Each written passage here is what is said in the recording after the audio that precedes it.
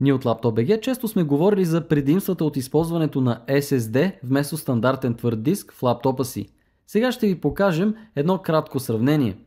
В следващите кадри ще покажем не просто работата на SSD сравнена с тази на стандартния твърд диск, но ще използваме два лаптопа с различни процесори.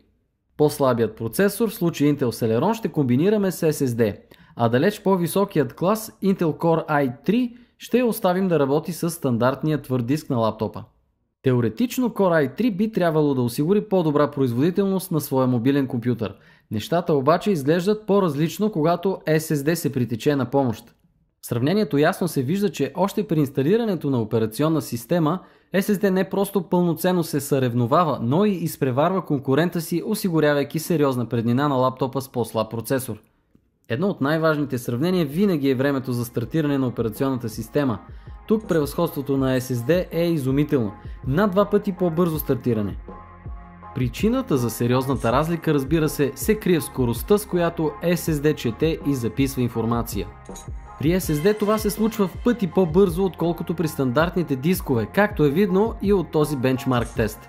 Важно е разбира се и висококачественото SSD поставено в лаптопа в конкретния случай.